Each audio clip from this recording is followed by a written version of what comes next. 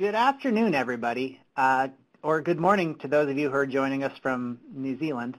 Um, thank you for joining us this, today. Uh, I'd like to welcome you to the Future of UV, EB Advanced Manufacturing, Trends, Strategies, and Applications, a regular webinar series presented by the State University of New York College of Environmental Science and Forestry in collaboration with RadTech International North America, the Association for UV and EB Technology. My name is Brandon Murphy, and I'll be your host today from SUNY ESF. I just want to do a quick reminder that all webinars in this series are archived at www.esf.edu slash openacademy slash UVEB webinar. And you'll also get a follow-up email after the webinar reminding you what that address is, so you don't need to jot it down. um, SUNY ESF offers uh, graduate certificates in radiation curing chemistry, these include courses in Intro to Polymer Coatings as well as Radiation Curing of Polymer, polymer Technologies. Uh, you can find out more information on our web at esf.edu slash openacademy slash online slash RCC. I'd like to remind everybody that the Big Ideas for UV and EB technology is just about a month away. Uh, you can come join us out at Redondo Beach in California, March 19th and 20th. For more information and registration, visit thebigideasconference.com or the RadTech website, which is radtech.org.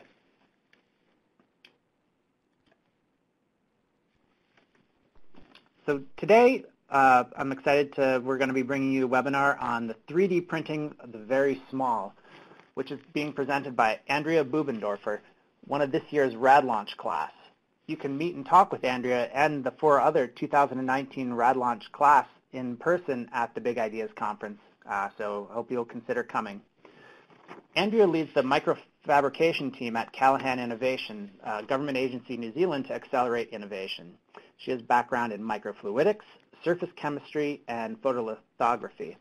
Her main current interest is in the making, uh, making micro, microfabrication and accessible technology and this has been the inspiration for the Micromaker, a new 3D printer for rapid prototyping at the, at the micro scale. So I'd like to thank you and welcome Andrea. All right, thank you very much uh, for the introduction, Brandon. Um, I'm really pleased to be here. I'd like to thank Red RadTech for this opportunity to speak and also acknowledge the support from Callaghan Innovation and also to thank all of you who are joining me today. So um, please feel check out our website um, and feel free to contact me with email address. I'll also have my personal email address up at uh, my work email address up at the end of the, the presentation as well. Right, so I'm going to talk to you today about Micromaker, our new 3D printer for cost-effective rapid prototyping on a micro scale. With this technology, we can easily print structures that are smaller than a hair, and you can see the examples shown here against the paper, what sort of things I'm talking about rapid prototyping. So, but first, a little bit more about us. As Brandon mentioned, I'm from New Zealand. Um, for those who don't know, it's a small, geographically isolated country in the southern hemisphere. We have a population less than 5 million in an area that's slightly larger than the UK. It's currently 8 o'clock here, or just after, on a, a Saturday morning, on a summer day, with an expected high probably around 25 degrees, maybe um, I think 77 Fahrenheit. You can see the closest country to us is Australia, and otherwise we're pretty much in the middle of a giant ocean. Right. So I'm a principal scientist and leader of the microfabrication team, as um, Brandon mentioned, at Callaghan Innovation. It's our government agency to support innovation in New Zealand. We get our name from Sir Paul Callaghan. He lived from 1947 to 2012, and our organisation was formed uh, a couple of years after that. He was New Zealander of the Year in 2011 for his vision to champion science and business for New Zealand's economic growth. So I sit in the Research and Technical Services Division, which is made up of about 200 scientists and engineers in four groups, Advanced Materials, Advanced Manufacturing, Biotech, and Data and IoT, which is where my microfab team sits. So we keep talking about microfabrication. For those of you not familiar, it's the processes and techniques for making miniature structures around the micron order, so that can span from nanometers to millimeters, at least in one dimension. These microfabricated components are ubiquitous in high-tech devices and enable all this miniaturization that you see here. I'll discuss specific applications towards the end of the talk. For the New Zealand context, microfabrication is an excellent export industry with high value and a small form factor and a global market. You can see the advantage with um, our position, how good for New Zealand it is to export these high value things that are actually easy to export. So being motivated, the fact that it is such a valuable industry, we also have to recognise that microfab processes are time consuming and expensive. Even developing the simplest of structures can take a really long time. So here's an example, uh, a glimpse of what it looks like in a microfabrication clean room. Um, you can see that there's, there's, strict protocols for suiting up and going in, um, even to do the most simple of operation. But everything is, is very manual time consuming and very expensive. So after some years of working in this environment, I became interested in making microfabrication a much more practical and accessible tool. The problem that I really wanted to solve was to find a very fast and affordable way to make tiny structures that could just reduce the amount of effort that was involved with it. So with this motivation, we set to break down these barriers, accelerating microfabrication, and the result is Micromaker, a Callaghan innovation project that's supported also by Kiwi Innovation Network or KiwiNet as a commercialisation partner to the project. Micromaker is a convergence of 3D printing and microfabrication for rapid prototyping on the micro scale, opening a whole new high value area of additive manufacturing. Myself and co-inventor Andrew Best, shown here with some test prints, want to use this technology to disrupt rapid prototyping of the very small. And so for the next section, I will explain how this works. I'll make the distinction now. I've used the name Micromaker. That's the name of the 3D printer that we've made. It uses the new patent pending 3D printing technique that's behind the printer, and we call this type of 3D printing laminated resin printing, or LRP. So, firstly, to bridge the gap between 3D printing and microfabrication, I'd like you to note the close relationship between photopolymers, these are polymers that change their properties with light, and photoresists that are light sensitive materials for precision patterning with UV. A particular set of photoresists, that is negative photoresists, become insoluble after patterning. By exposure to UV, a catalyst is liberated which after heating cross-links the photoresist to form a polymer. So in many ways, there's a lot of overlap between photopolymers and photoresists. Now, the photoresists were designed for the electronic industry and underpin semiconductor print processing, and this explains their ability to create very small and very high resolution structures as needed in um, microfabrication. The modern thick film resist and by that I mean film uh, typically photoresists, which are on the order of 10 to 500 microns or thereabouts, have gained a lot of uh, popularity over the last couple of decades for microfluidics or lab on a chip devices, which I'll talk a little bit about more later. MEMS, which are microelectromechanical systems, also known as micro machines. Those include microsensors such as the accelerometers seen in drones and fall pendants, pixel walls for displays, and many more. With these types of devices, we've gone from essentially 2D structures six structures, usually only a few layers, often referred to as 2.5D, but nevertheless absolutely out of the plane. So I've given this diagram to just give a little bit more feel for the dimensions of where these structures fit in and um, how UV can make that, allow that high level of resolution that you don't get from 3D printing due to the photoactivity in the photoresist and in the patterning mechanisms for them. So, fabricating MEMS with photoresists has become increasingly popular as an alternative to micromachining in silicon. And these modern material photoresists have become industry standards now. They were developed at IBM for high aspect ratio structures and are chemically amplified photoresists obtain, obtain extreme resolution as well as structures. In this next section, I'll describe how we use these photoresists to obtain 5 micron voxel resolution 3D printing environment. Okay, so in our 3D printing technique, laminated resin printing, we provide microscale rapid prototyping through the use of firstly the high resolution dry film photoresist I mentioned obtained and these are obtained with precision slot die coating and thicknesses down to 5 microns. And because they are produced in these sophisticated slot die coating machines, the tolerances are extremely high um, with a reproducibility of um, plus or minus 125 nanometers, or if you like to keep in the same units, that's 0.125 of a micron. And it shows just that precision that you can get with the layer thickness that defines our Z resolution. We also use fast UV proje projection um, with 5 micron pixel size at the print bed, and that defines the resolution in X and Y. Laser patterning can also offer further customization, including um, potentially higher resolution with that. And on top of that, we can laminate many layers of dry film with true 3D structures. So next I will step through the operations in more detail.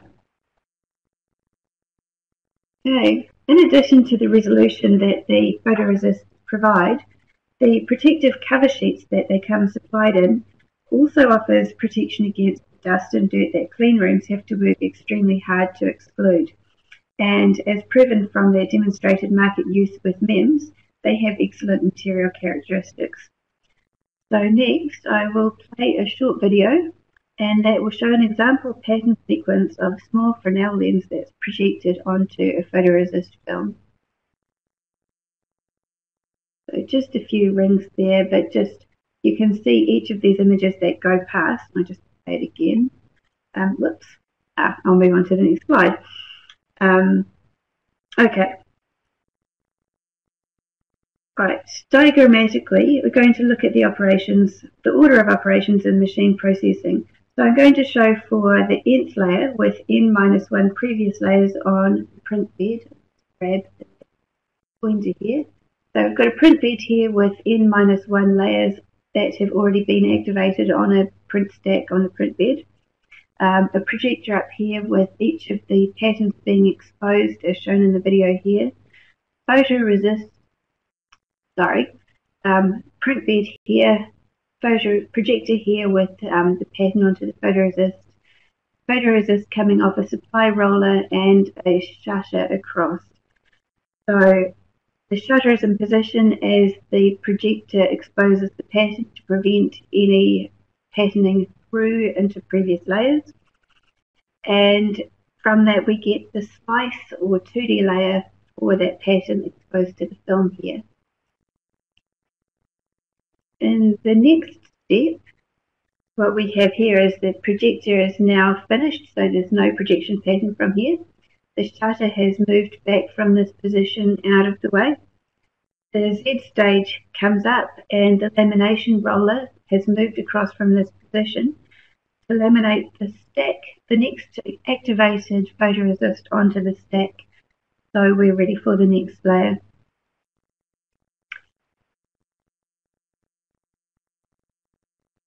Right, and here we go. We are now ready to deposit the next layer, layer N plus 1, in the same way, with the shutter back in this position, the projector exposing again, and we've now got the N layers on the stack here. And you'll note that the um, as the film is transported along, the protective cover sheets unwanted are removed to the take-up rollers.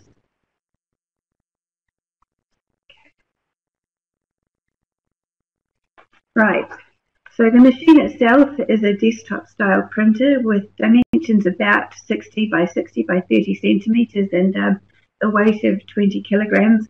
And um, I'll just apologise for um, not using imperial units as well. I tend to work in SI. Growing up in New Zealand, it's, it's um, all we use really. Um, the machine is designed essentially as a mini clean room. So you recall back earlier on the, the protocols of using the clean room where humans have to suit up and we have the HEPA filters to exclude the dust, dirt and contamination. Essentially, the box now acts as the mini clean room, dirt and UV contamination free. Just a, um, an easy way of keeping the grubby humans that create a lot of this dirt on the outside. And because of the UV um, contamination requirements as well, we have this enclosed from UV with a red window that allows us to sa safely observe the inside. In terms of specifications of the machines, um, I'll note that the machine is able to allow significant customization. Um, these are a, table of the specifications that we're working to at the moment with um, a lot that's quite capable to change from this base. I note that we've used epoxy photoresists, but also recognise that other UV activated dry materials work. Um, we've used projection as one source of UV activation, but I also mentioned the use of lasers as well. Um, one really good feature with this is that the dry film provides enormous scalability. So although we're printing tiny structures with um, really small layer thickness and um, small structures that can be printed, the actual photoresists themselves are obtained in um, rolls of with widths up to 250 millimeters and lengths of up to 100 meters, which basically means that we can go from rapid prototyping to production in the industry standard material with desirable material characteristics. And that's an enormous advantage, as often with material um, with, with rapid prototyping, materials that are used that have the characteristics suitable for rapid prototyping, which aren't necessarily those of the final environment. So being able to keep those as the cradle to grave process means that you don't have to then go back and work out changes process as you go. So note also the um, material characteristics if you're interested in, in microsensor type of devices. The um, the storage modulus in particular is, is um, close to a measure of elasticity. And with this being a photoresist or um, photo, effectively a photopolymer, the material is flexible enough that it can create um, membrane type of structures and deflectable, type of structures as used in microsensors. Um, and it has the elasticity to move. So we don't just print passive structures, but active structures as well. Note also the operating temperature range, minus 60 to 200 um, degrees Celsius is wide. And because these materials are based on photo, photoresist rather than photopolymers, they have that extra resistance to um, not just temperature but solvents, acids, and bases, which means that they are able to operate in almost every environment. Okay, so in this slide I've shown a few examples of structures that we've printed with a wide variety of applications. And the scale bars are probably pretty hard to see on this, but um, the Fresnel lens shown near the top is a 90 layer structure and um, it is scale bar here is across. So it gives an idea of the we can print. Um, when we talk about our resolution of 5 microns. Um, this is actually really a true resolution because this is an inherent um, the voxel that we're printing in rather than um, an approximation as to what the machine can do. Um, note also that we have interest in depositing metals as part of the process and we're really interested in developing um, how far we can take that conductive tracks as well. So, to put in context of how laminated resin printing compares with other types of 3D printing, I've, I've put a table from the ASTM, ASTM um, family of 3D printing classes. ASTM recognises seven families of additive manufacturing as well as a hybrid. So, where do we fit with that? The most closely related types of 3D printing are laminated object manufacturing and vat polymerization. Like laminated object manufacturing, laminated resin printing builds up multi-layer structures by laminating stacks of layers together. In contrast, however, in laminated resin printing, the patterns are not cut and there is no adhesive to bond the layers. In laminated uh, resin printing, the photoresist softens the surface bond together during that lamination step shown earlier, and then are fully polymerized in all planes during a heat cure stage. Built in a single material, there's no interfacial stress or delamination between layers as you can get when you've got a, um, a mix of polymers plus adhesives. Now, comparing to vat polymerization, laminated resin printing also uses UV to selectively expose a photosensitive resin. However, in contrast, LRP, laminated resin printing, has no VAT, and there is no mechanism needed to deposit liquid resin layers. These layers are preformed in microfabrication quality dry film photoresist, as I mentioned earlier, with that extreme tolerance. And the use of these dry films also means that there's no shrinkage or distortion, and the consist- consistency from print to print is excellent as a result from that. So compared to photopolymers, these photoresist films can be patterned to this exceptional resolution. Um, the actual achievable resolution of these photopolymers can be even higher than what we're doing with um, two microns achieved in X and Y, and they can also come down to a what be used in a wide variety of thicknesses down to that five microns or possibly even less. Um, right, so our niche is in small and or high resolution structures. We can print structures by themselves or we can print them on substrates such as fabric, paper, silicon or PCBs. So we can start to combine things like microfluidic molds with electronic circuits or print onto perhaps a temporary tattoo type of material um, for a wearable. And that's using the material with the demonstrated extreme performance with the ability for active structure. So um, all of these things combine to give more than the um, benefits that you typically get of 3D printing, but have the combination of the rapid prototyping for 3D printing as well as some of the advantages that you get with um, microfabrication. In particular, overhangs are especially easy to create with this technique as when we're putting down these multiple layers with the um, pattern structure built in the uncross-linked material, it's um, very easy to produce structures such as overhangs and um, membranes that we can move out from the material underneath, which is otherwise fairly difficult to have without a support material. And we note that the supporting material of the uncross-linked photoresist is highly soluble compared to um, typical prepolymers and is very easy to wash away. So these advantages offer many applications, especially where size and weight matter, as noted earlier with the miniaturization trend. But in particular, I'll just draw attention to the fact that these smaller devices have a lot of different drivers. They're smaller, lighter, faster.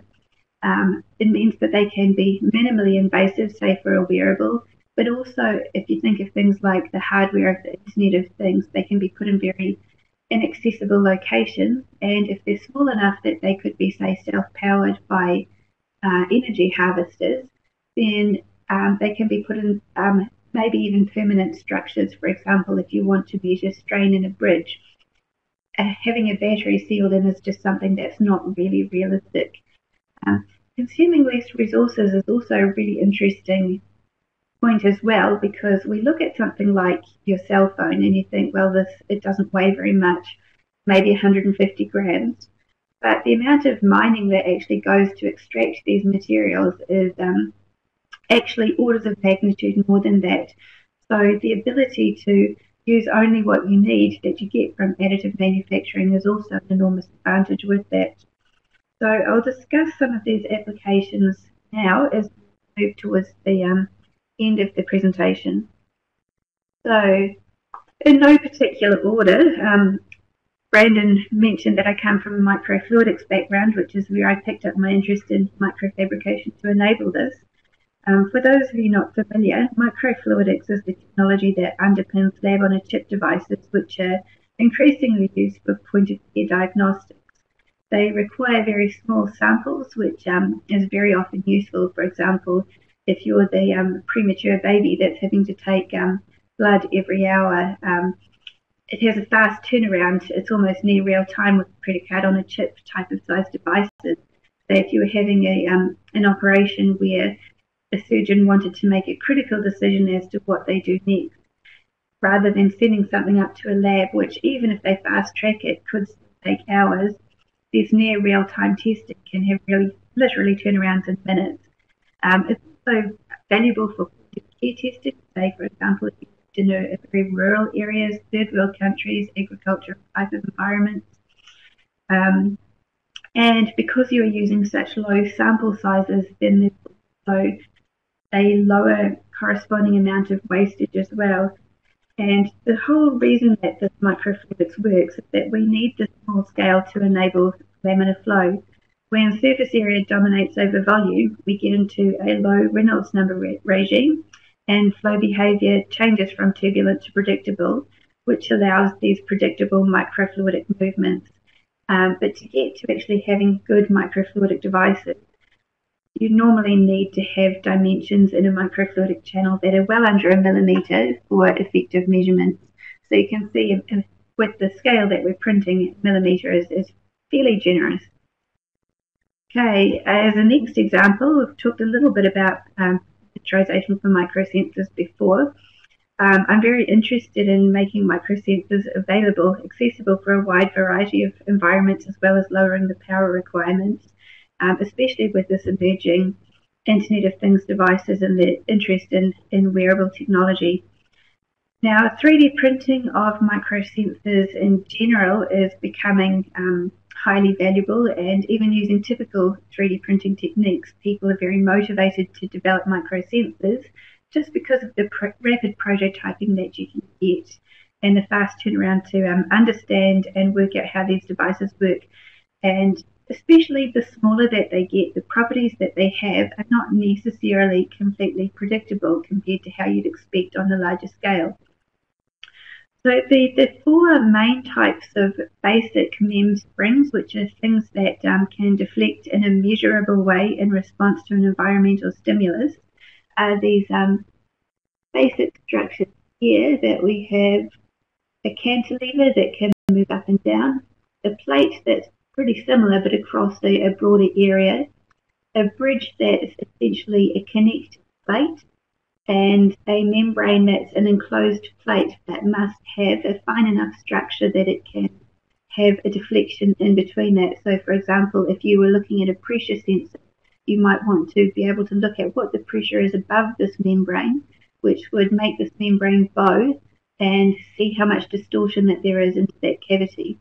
And if you take the example of the, um, the simpler cantilever sensor, then there's also a huge direction that you can go in further with these sensors in terms of functionalizing them to recognize specific um, molecules, working out the amount of stress or heat difference by the amount of bending, um, vibration as a balance, or um, change in heat to look at um, many different ways that these cantilevers can respond and measure different environmental properties um, practice. Right. Aerospace in particular is one that I'm really fascinated about. Um, in aerospace, we recognise, of course, that miniaturisation is critical.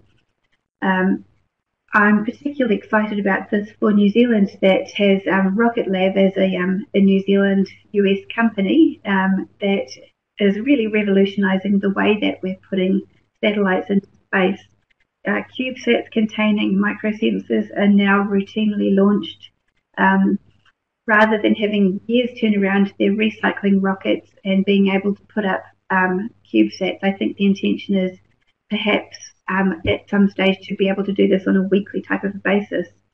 On the International Space Station, where astronauts are living for sometimes extended periods of time, and it's not clear how their health changes with that environment, there's a lot of custom development and monitoring of astronaut health to really be able to work out um, the effect of that environment on them. Now, in order to actually be able to carry out these types of tests, at the moment, there's the cost of holding large stocks on the space station, or even just the cost of getting um, payload into Earth orbit. It's really expensive every single reduction in weight that you can have makes an enormous advantage. And the ability to prototype or have um, miniaturized devices reduce the barrier in both of those applications. Micro robotics is also another example of a very high value technology that's driven by miniaturization with significant benefits in cost accessibility into constrained environments, such as, for example, search and rescue operations where, um, for example, if a building had collapsed in an earthquake and we could send a tiny robot in, then they could start to look for things like signatures of life for example, carbon dioxide emission that says that there's somebody in there breathing and can even map out the environment in that situation so that rather than having to have people push through to try and get there, they can actually map out a path, find someone to rescue. But of all of these um, examples of application, the most important of all is um, what would you make? Um, I'm very interested to hear ideas of how this could change the work that you're, the areas that you're working in. Come up with ideas that um, we haven't even thought of, things that we don't know about. So, um, thank you for listening to this presentation. Um, I've enjoyed giving it and I've hoped that you found it interesting. Um, please feel free to contact myself or Andrew. Um, we'd look forward to hearing from you and finding out more about those ideas that you have. So um, thank you again, and this brings the end of the presentation. Um, I believe that Brandon's going to open up for um, chat questions if anyone has anything that they would like to ask here and now. Um,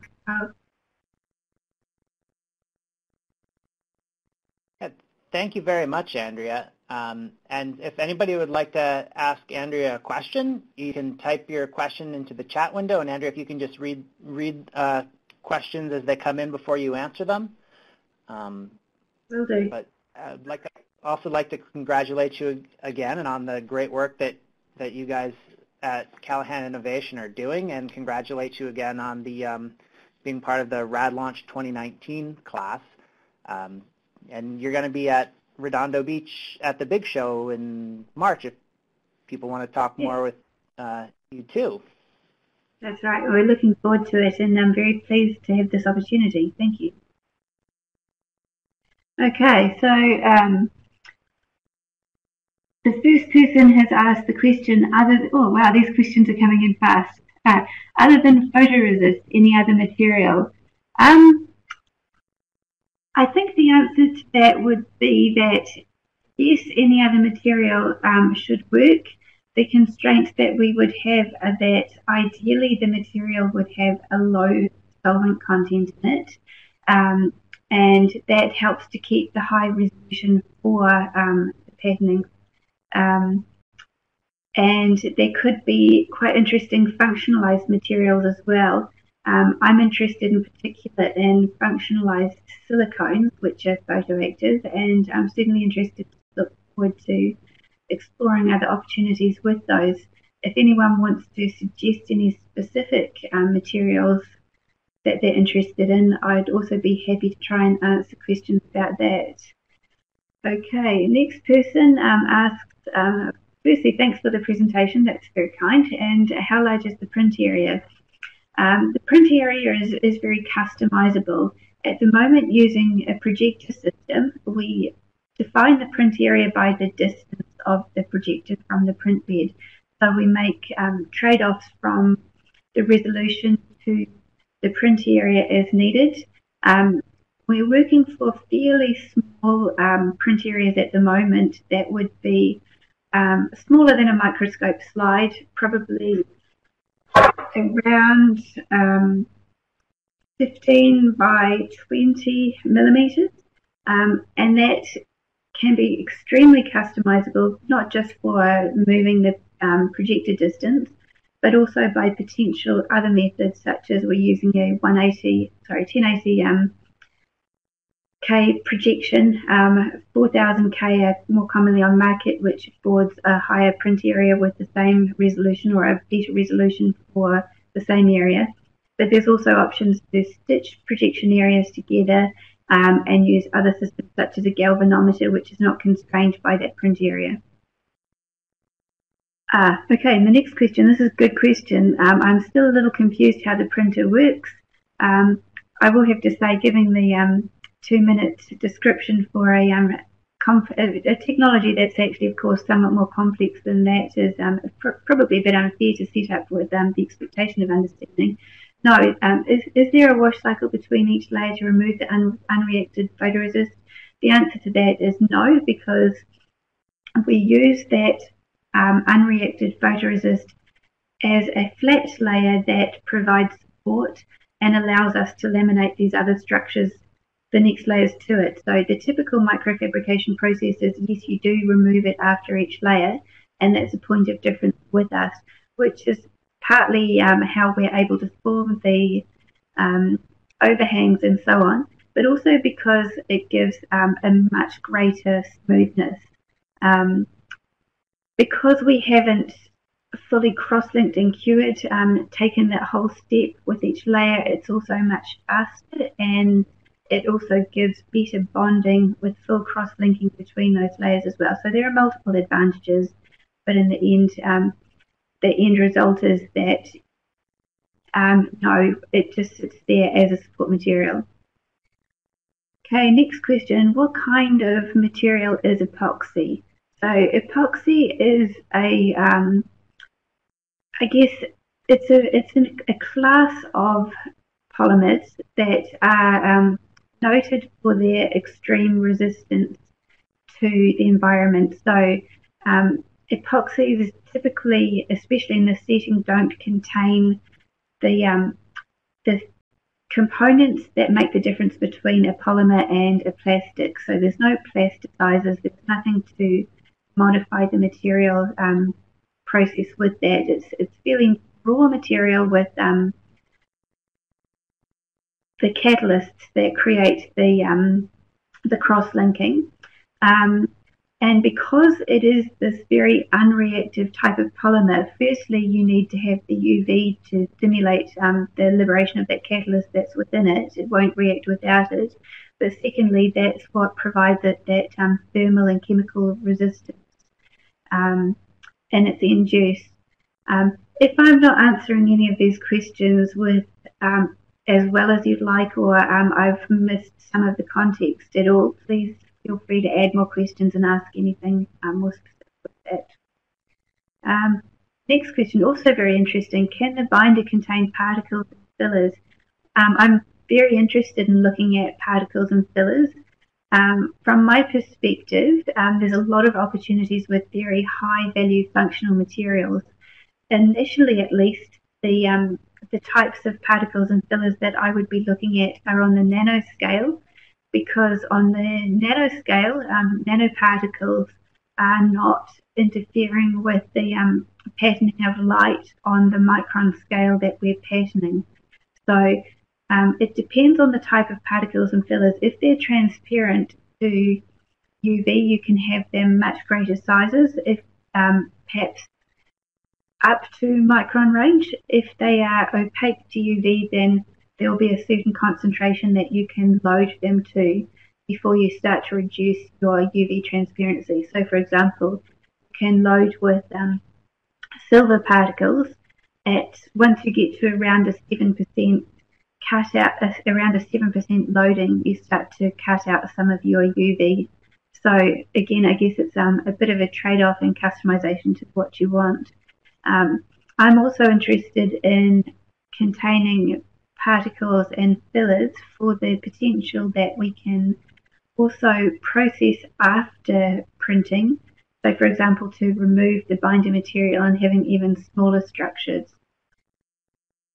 The next question, the chemical difference between, what are the chemical differences between SLA resins and photoresist? There's two parts, two parts to this, so I'll read it all in one go. Are photoresist still acrylates but with epoxy mixed in, or are there more differences? Um, I guess reasonably complex question, which I'll try and summarize as briefly as I can. Um, the SLA resins are more like plastics than um, polymers that um, a lot of these resins do contain other materials to aid in their printing. Um, photoresist, there are classes of photoresists that are acrylates, but there are quite a wide variety of different photoresists and almost always they're in a single material with um, nothing mixed in. And the reason for that is so that they have true homogeneous um, transparency to um, UV because if there's a mix like a block copolymer or um, blend, then that um, can be a lot more complicated for how it's patterned. So the photoresist that I'm typically using, the um, negative style are um, epoxy based not blended. Um, and yes, there are other differences as well in terms of um, the catalyst and how they are cross-linked as well. Um, I hope that that answers that.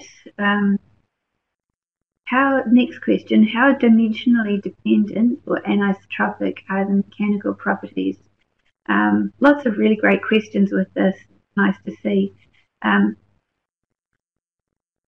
this is um, in particular with the type of material that we're doing because we are cross-linking in um, X, Y, and Z. Oh, screensaver just came up. Um, we have very um, isotropic um, properties because that cross-linking is universal in all directions throughout the material.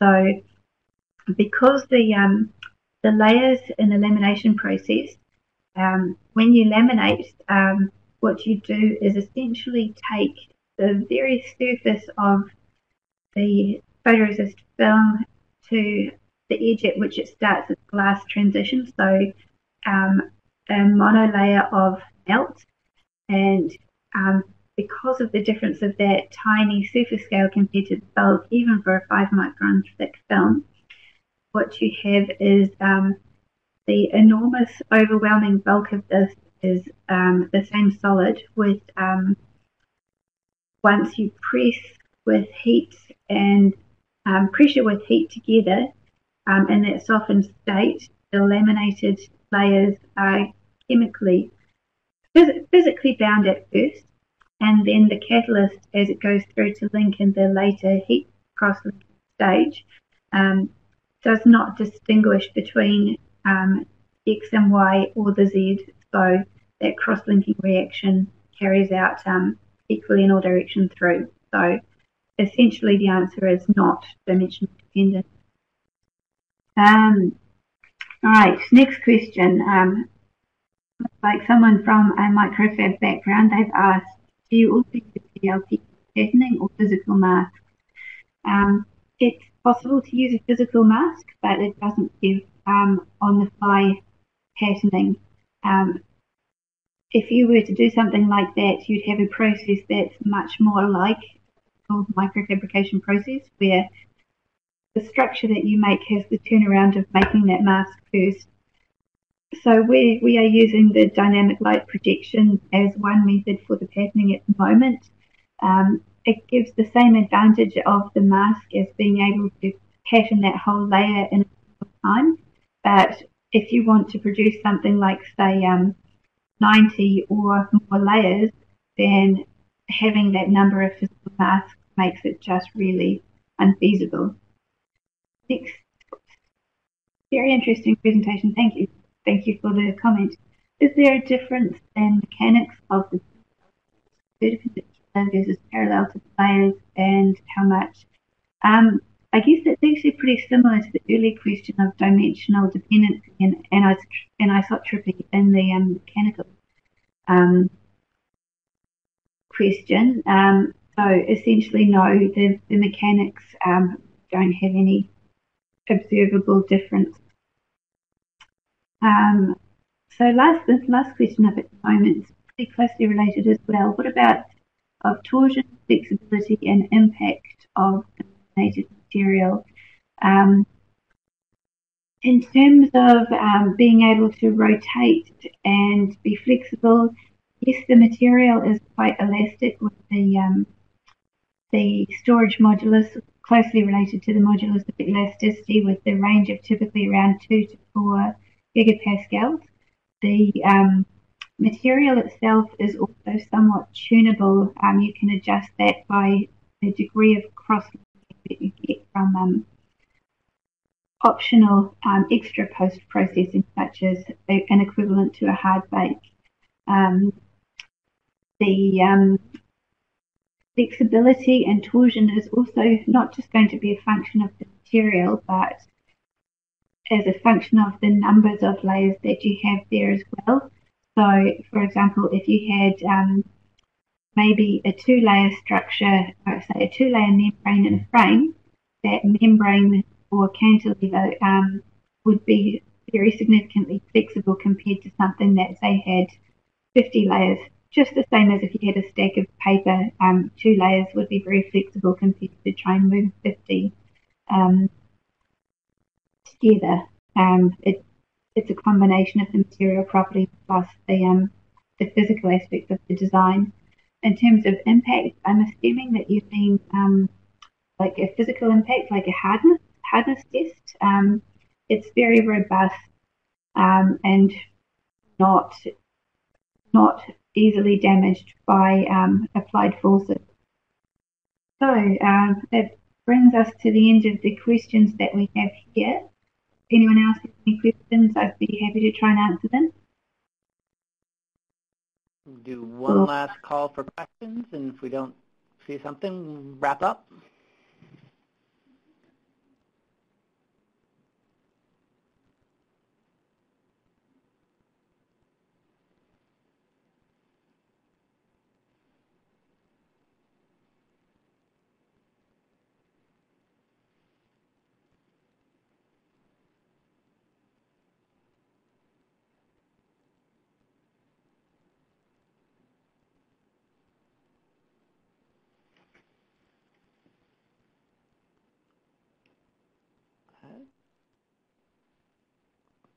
Was was a pretty in-depth question Q&A, so I think it looks like we've gotten all the questions. I'd like to thank Andrea uh, very much for presenting and sharing this with us today. I'd also like to congratulate both you, Andrew, and all of Callaghan Innovation for the really great work that you're you're doing here. Um, thank you everybody for joining us today, and just remember that you can come talk more with Andrea about this at the Big Ideas for UV and EB conference, uh, March 19th and 20th. Um, thank you all and have a great day. And thanks also again from me, and I look forward to the next um, event